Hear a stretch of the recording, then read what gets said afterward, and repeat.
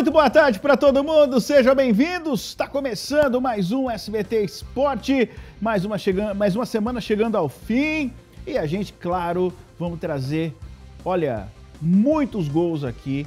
Tem jogos pela Copa América, você que está em casa, tá ligado. Hoje nós vamos mostrar gol para Dedéu. A gente vai deixar você por dentro de tudo. Tem Campeonato Brasileiro, tem o Corinthians, tem os e o Marinho. Que gol que o Marinho fez ontem. Misericórdia. Vou mostrar para você. Chama a gente no zap aí, manda sua participação 18991437891. Senhoras e senhores, Rafa Rod tá aqui comigo. Sensacional. Muito boa tarde, garoto. Tudo bem? Tudo ótimo, Mário. Boa tarde, pessoal de casa. Tava com saudade, Mário, de vir aqui fazer o SBT Esporte? Sempre, né, filho? Eu sou da casa aqui. É isso aí, A gente sente foda dos meninos, né? Eu tive que aguentar o Laerte esses é, dois dias. E ainda bem que você teve que aguentar ele lá. Né? tá tudo certo. Tá tudo certo, Mário. Isso aí, como você falou, Copa América, mais uma semana repleta de jogos chegando ao fim aí, Campeonato é. Brasileiro. Os paulistas muito mal, exceto Bragantino, como a gente falou ontem aqui no programa, líder do Brasileirão. Não, jogando muita jogando bola. Jogando muita tá bola. louco. Antes, peraí, peraí, deixa eu pegar um negócio aqui pro Rafa porque a partir de segunda-feira eu vou passar o bastão para ele. Ah, beleza. Tá bom? Beleza. Aí você fica aí, você cuida do programa tá até dia 19. Eu vou sair de férias, ele vai cuidar do programa até dia 19. Aí eu volto. Eu e o Caio Esteves. Aí você me passa o bastão de volta. Beleza, demorou. Beleza? Você vai demorou. jogar com a 10 e a faixa, tá? Só tocando a bola pro é, Caio Eu Esteves. jogo com a 6, lateral esquerda ali. Você joga com a 10 e a faixa, beleza? Beleza, tamo então junto. tá bom. o Uruguai desencantou e venceu a Bolívia, lanterninha do grupo. A gente tá falando de Copa América. Vitória que classifica os uruguaios para a próxima fase e pode dar moral no mata-mata. Eu acho que vai ser com o Brasil, hein? Põe na tela. Luiz Soares e Edinson Cavani já viveram dias bem mais inspirados vestindo a camisa do Uruguai. Reparem nesse lance. Os dois se enrolaram e o goleiro Carlos Lampe, o maior destaque da Bolívia na Copa América, evitou o gol. Ambos ainda tentaram de cabeça, também sem sucesso. Aos 39 minutos saiu o gol uruguaio, numa infelicidade do boliviano Quinteiros, que fez contra.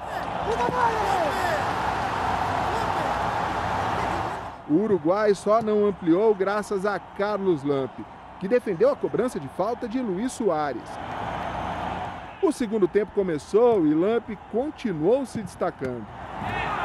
Foi praticamente ataque contra a defesa a cada cinco finalizações uruguaias, uma da Bolívia. Luiz Soares percebeu o Lampe adiantado e quase marcou um golaço. Nem a entrada do artilheiro Marcelo Moreno mudou o cenário para a Bolívia, que está praticamente desclassificada e ainda pega a Argentina de Messi na última rodada. O maior brilho do jogo veio do alto e estava do lado de fora da Arena Pantanal. A bela lua em Cuiabá emprestou um pouco de luz a Cavani, que enfim desencantou, fechando o placar. Foi o primeiro gol do atacante do Manchester United na Copa América. Uruguai 2, Bolívia 0.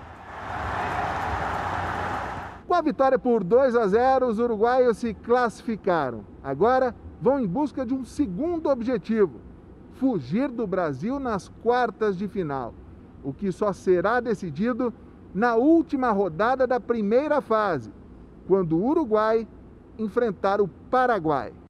E que jogo vai ser esse, meus amigos? É isso aí. Que jogo, hein, seu Rafael? Isso aí. A Celeste Olímpica, né? É aquele, aquele ditado, né, Ô, Mário? Você não pode cutucar onça com vara curta, ainda mais lá na Arena Pantanal, né? Que a gente tinha ali dois... No habitat natural. Sim, pra ficar tudo nessa seara aí, dois matadores com fome de gol, né? Soares e Cavani.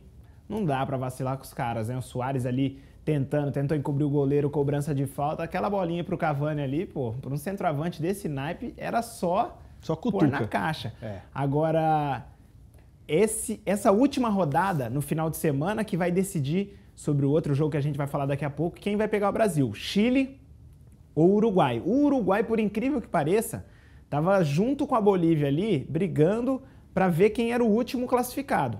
Aí o Uruguai ganhou da Bolívia, a Bolívia ficou com zero pontos, como o Godrian disse, praticamente é, é, eliminada do mata-mata.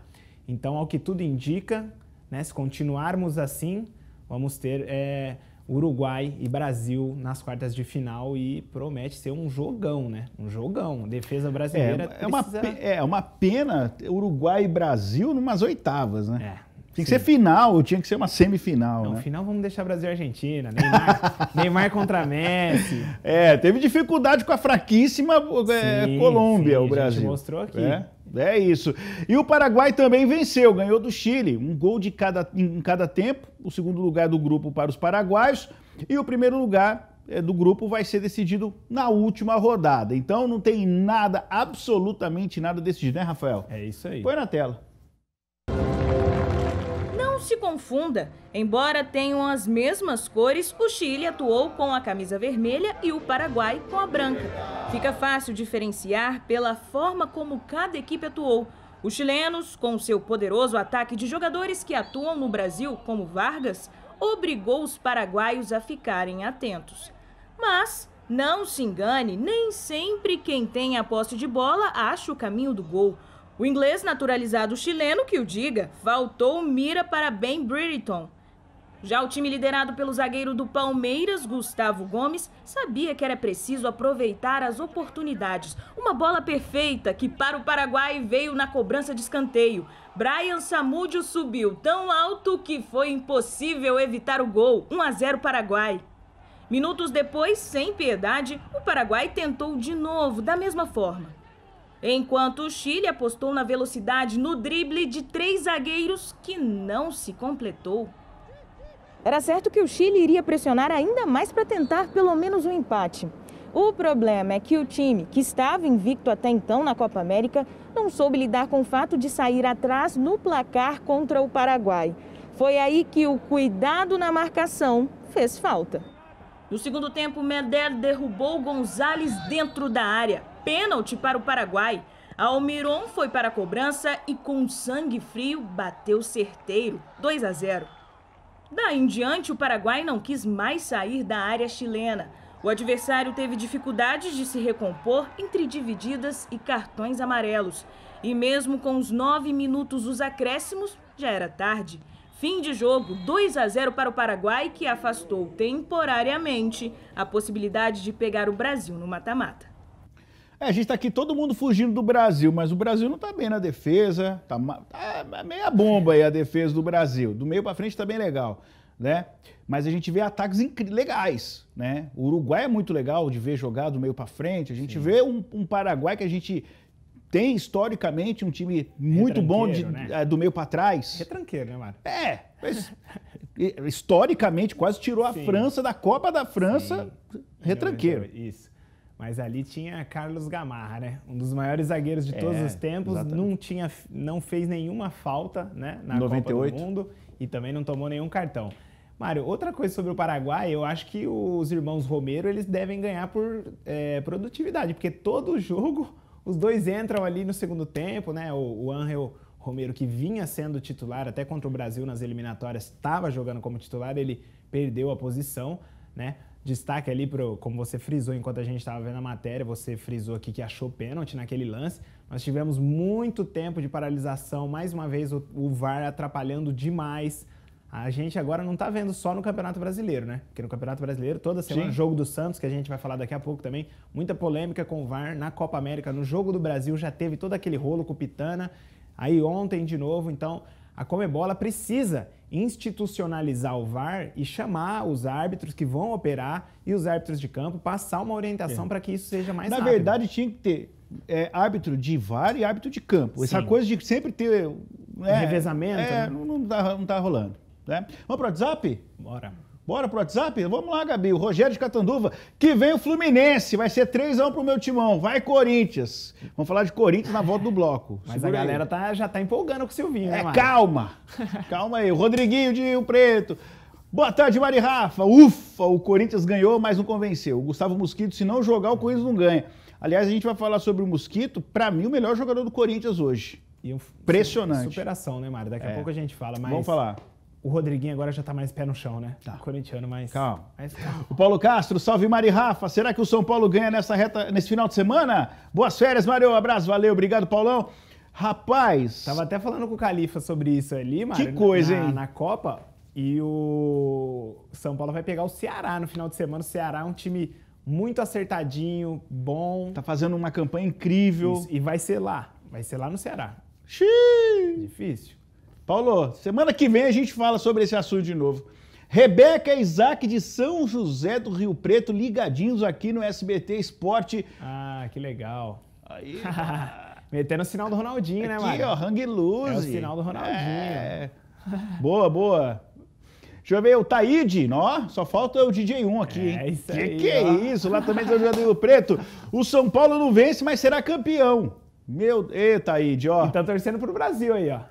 Brasileiro É nato aí. aí. Ô, Taíde, sei não, viu? Você fala, eu falo.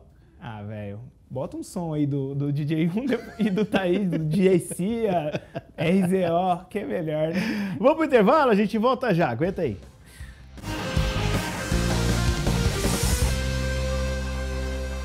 Você já está sabendo da novidade? É que o Tela 2, a plataforma de vídeos aqui do SBT, agora disponibiliza para você os seus programas também, agora em áudio. É isso mesmo. Agora você pode acompanhar os podcasts dos principais conteúdos do Tela 2. Por exemplo, tem o Líder SA, tem Sem Filtro, tem o Tela Política, seja na academia, no caminho do trabalho. Você pode ligar aí o seu Bluetooth, ligar no seu carro e ouvir onde você quiser. Não importa onde você esteja. O importante é que você acompanhe os episódios que já estão disponíveis nas principais plataformas de áudio. Seguinte, aponta aí a câmera do seu celular para o QR Code e agora, apontou aí para a tela, você já pode começar a ouvir agora mesmo. Toda semana tem um episódio novo para você. Esse é o nosso Tela 2, é conteúdo que vai aonde você está e agora em podcast. Olha que legal. Muito bom. Bom, a gente continua aqui falando de futebol, como o mundo gira, né? E gira rápido demais, principalmente para o Corinthians, principalmente para o mundo da bola. E o Jô, que estava aí sendo execrado por conta da chuteira verde, foi um dos protagonistas da vitória do Corinthians sobre o Sport Recife. Ele participou dos dois gols. Dá só uma olhada. O Corinthians abriu o placar no finalzinho do primeiro tempo. Vital para Gustavo Mosquito. Ele balançou e cruzou. Jô foi inteligente e mandou para a rede, mas a bola desviou em Iago Maidana do esporte. 1 a 0. Aos 7 do segundo tempo, mais um do Corinthians. Vital bateu o escanteio e Jô mandou para a caixa. 2 a 0. Aos 37 da segunda etapa, o esporte diminuiu. Patrick levantou na área e Trellis marcou de cabeça. Fim de jogo, Corinthians 2 a 1 esporte. Pode tomar esse gol, né, amiguinho? Vamos lá, antes da gente comentar sobre o jogo, vamos acompanhar o que o Silvinho falou sobre a sua primeira vitória na- lá na, na Neoquímica Arena e, claro, do desempenho da equipe. Fala aí, Silvinho. Além da vitória, nós construímos bem essa vitória. Foi de uma boa performance, foi de marcar alto o adversário, de buscar situações de gol. E eu estou feliz. A sensação, como você me perguntou, é feliz pela vitória dos atletas. Ele tá mais calmo. a gente tá falando aqui no- no- nos bastidores que o Silvinho, se você pegar a primeira coletiva dele para agora, de hoje, já é um outro treinador. Primeira vitória do Silvinho como profissional, como técnico profissional de futebol. Ele não conseguiu vencer lá na França. É a primeira vitória dele no Brasil. Sim, e Mário, é, o que a Aliás, gente- na arena, né? Isso, na Neoquímica Arena. E o que a gente estava comentando aqui também, ó, ah, antes de voltar, é que ele estava lidando com. é Era um turbilhão ali o Corinthians, né? É. Foi Gaviões fazendo protesto, é, o Danilo Avelar demitido por uma idiotice, o Jô punido, aí vamos dizer se está certo, se está errado, enfim, foi- acabou sendo punido, né? Então o Corinthians ele tava Corinthians, né? Tava É, no olho do furacão. Isso, no olho do furacão e tal.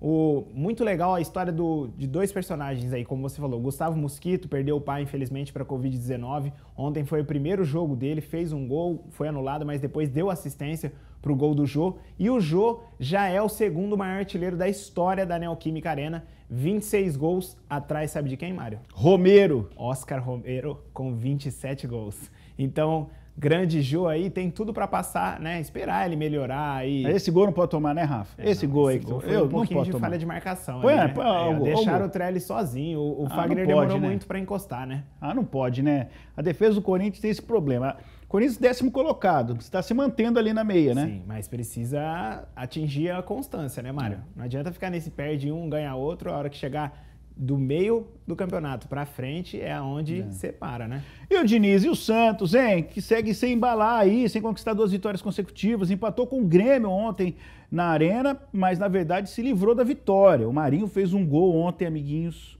Aquela paulada de fora da área que eu nem sei se pode mostrar. Pode mostrar esse horário, Gabriela? Pode? Pode? Ela falou, pode. Então põe aí na tela, meu filho. O Grêmio abriu o placar aos 4 minutos. Rafinha cruzou, Bob Sim ajeitou para trás e Diego Souza pegou de puxeta para fazer Grêmio 1 a 0. O Santos empatou aos 29. Camacho roubou a bola no meio e fez a tabela com Marcos Guilherme. Ele dominou, arredondou e bateu na saída do goleiro, 1 a 1. O Grêmio voltou à frente no final do primeiro tempo. Falha do Santos na saída de bola, Diego Souza arrancou e tocou para Matheus Henrique. Ele só completou. Teve checagem demorada no VAR, mas o gol foi validado. Só que o Santos empatou o jogo aos 33 do segundo tempo, com um golaço do Marinho. Ele recebeu no meio e soltou a porrada. Golaço, fim de jogo, Grêmio 2, Santos 2. Three fingers. Três dedinhos. Só Hã? Estilo Rivelino. Meu Deus, hein? Agora a gente acompanha o que o Fernando Diniz achou da partida, do retorno do Carlos Sanches, que foi o primeiro jogo dele depois de, ó, quase oito meses sem jogar. Fala, Diniz! Foi um jogo mais aberto do que deveria, pelo menos analisando a nossa parte. Conseguiu produzir ofensivamente, mas defensivamente a gente, a gente ofereceu algumas chances para o Grêmio que não estava acontecendo nos outros jogos. A gente vai ter que corrigir isso. Ofensivamente a gente produziu, foi um time muito corajoso, principalmente no segundo tempo. E mereceu o empate, foi buscar o empate com muita luta e muita dedicação. Em relação ao Sanches, para mim é um grande privilégio poder trabalhar com o Sanches. Era um dos jogadores que atuava no futebol brasileiro, jogava contra, que eu mais admirava. E depois de um ano, quase um ano aí parado, ele voltar, já nos ajudou hoje com sua imensa categoria e a sua presença no campo é bom para o Santos e bom para o futebol brasileiro. É, o meio de campo do Santos já tá com outra cara, Sim. né? Sanches, Camacho. Camacho, que eu falei aqui. O Camacho vai dar certo no Santos. Não deu Filhão, certo no né? Corinthians. Filhão, filhão. Filhão do Diniz, né? Filhão do Diniz. Diniz é. Fala aí. O Diniz ele segue a escola aí de, de Lucha, né? Maldonado, Fabiano, os filhos do Lucha. E o Diniz ele tem os filhões dele ali também. Já levou dois, né? O Marcos Guilherme e o Camacho, mas estão dando certo. Então a gente tem que passar esse pano aí pro Diniz.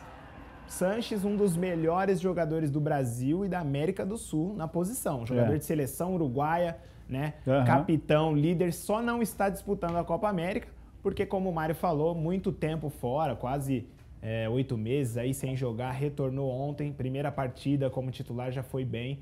Né? E o Santos, infelizmente, precisa corrigir é, essa saída de bola, que como o Diniz ele sofre com essa saída de bola em todos os times que ele comanda, né? A gente vê o gol do Mateuzinho ali, que também, mais uma vez, problema do VAR. Saída de bola errada, o Pará vacilou ali na reposição. Então, não tem, não tem muita justificativa aí. Tudo bem, ele falou que ainda está encontrando a maneira, ajustando as peças tal, tudo, mas, cara, todos os times dele, que ele já passou, os grandes principalmente, sempre falha na hora de sair jogando. E isso é muito perigoso. Principalmente numa Série A de Brasileirão, Boa, é que isso. todos os clubes são meio que parelhos, né, Mário? Exatamente. Gabi, tem tempo aí? Queria falar da rodada final de semana dos paulistas? Vamos lá?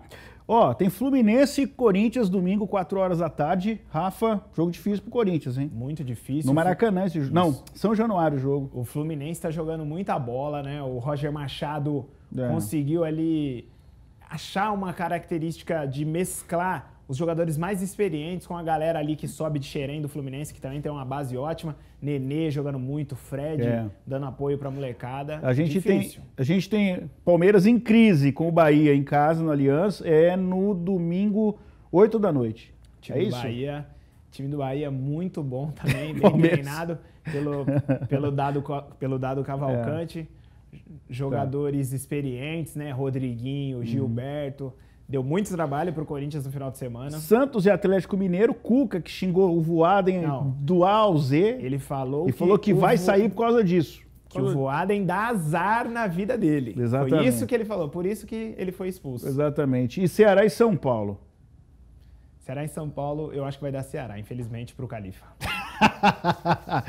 Um abraço pra todo mundo. Tô de férias, volto dia 19. Ó, o homem que comanda aqui a massa. Já passei o bastão pra ele, Tamo ele e o. Caio. Vocês não mexem em nada, hein? Beleza, Vou olhar deixar. tudo depois, hein? Demorou. Tchau pra vocês. Bom final de semana. Cuide-se.